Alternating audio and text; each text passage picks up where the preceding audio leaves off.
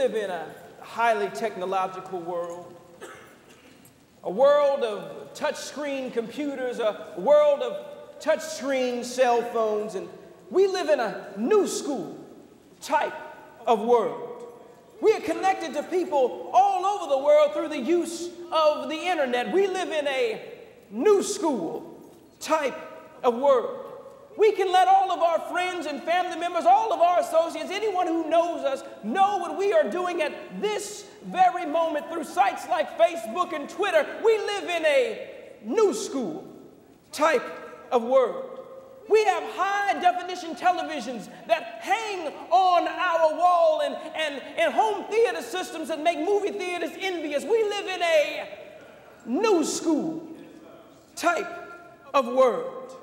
Gone are the days of Walkmans, and now we have iPods. We live in a new school type of world. We've gone from 78s to 45s to 33s to 8 tracks to cassette tapes to CDs to MP3s. We live in a new school type of world. We've gone from betas to VHSs. Now we have DVDs and now we have Blu ray. We live in a new school type of world. We are living in a fast paced, highly technological, new school type of world. Times have indeed changed. We can see the changing times even here in worship. A long time ago, we wouldn't have had screens like this, we wouldn't have had cameramen. But this is the norm now, for times have changed. We live in a new school type of world. There was a time when our education system operated differently, but times have changed, for we live in a new school type of world. There was a time when our government operated a little bit more efficiently, but times have changed. We live in a new school type of world. There was a time when our community was a little bit more close knit, but times have changed, for we live in a new school type of world. There was a time when kids could run up and down the street, have a good time, and you wouldn't have to worry about them. You knew they were safe, but times have indeed changed. We live in a new school type of world. There was a time when family, the family unit, had a more prominent place in society. But now society seems to celebrate the individual more so than the family. Times have changed. But we live in a new school type of world.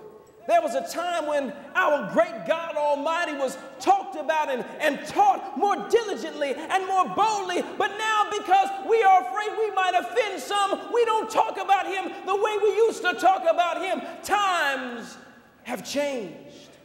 For we live in a new school type of world. In the past year, we've heard a lot about the concept of change from many different arenas. Change, change itself really is inevitable. Change happens even when we are not even trying. See, some of you, when you walked in, you, you were feeling pretty good, but in a few minutes, you will be asleep. Change is inevitable. See, some of you, when you walked in, you, you, you, had a full stomach, but in a few minutes, you will be thinking about what you will eat as soon as you leave here. Change, your body is changing. Change is inevitable. See, change for the sake of change isn't always good. See, change really shouldn't, in my opinion, shouldn't even be the end goal, but the end goal should be progression. We should want to progress and change is a part of progression, but you can change without progressing at all. And see, when you're not progressing, you stand the chance of regressing, going back into some old ways, going back into some bad habits, going back into some things that aren't really good for you. If we've changed, but we haven't progressed, we will soon regress. Instead of going forward, what's really happened is we've really gone backwards. And many of our problems, whether it be in our school, many of our problems, whether it be in our homes, many of our problems, whether it be in our Christian lives, might be able to tra- be traced back to a regression in our lives instead of a progression.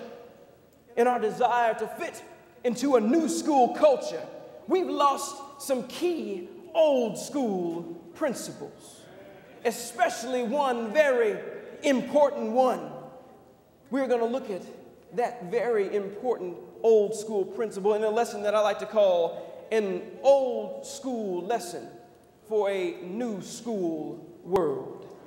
An old school lesson for a new school world. There is a lesson that Jesus himself tried to teach, and it's one of those lessons that really is timeless. And if we are going to progress in our Christian lives, if our families are going to move forward and not regress, if we are going to go to the next level in our Christianity, in our spirituality, then we are going to have to take a hold of this old school lesson and use it here in this new school world. We can't allow this culture that we live in to shape us. But see, we've been put here to be the shapers of this particular culture. We must live by this old school lesson here in this new school world. In Mark chapter 12, verse number 28, one of the scribes came and having heard them reasoning together, perceiving that he had answered them well, asked him, Which is the first commandment of all? Jesus had just finished dealing with the religious sects of the, the Pharisees and of the Sadducees. See, the Pharisees had tried to trick him with his own words by asking him a question uh, about the payment of taxes. And here is where Jesus gives his famous quotation render to Caesar those things that are Caesar's, and to God the things that are God's. The Sadducees then brought him into a discussion about the resurrection of which they did not believe. And Jesus answered them in such a way that they could not say anything more. But that leads us to the scribe, whom Matthew calls a lawyer. The scribe, hearing all of what is going on, the scribe decides to come to Jesus and ask Jesus this one very important question. And I want you to pay attention with how Jesus answers this particular scribe. He says, What's the first commandment of all? What is the first or great commandment in the law? In the law, Jesus, which is the commandment that carries the most weight? In the law of Moses, if we fail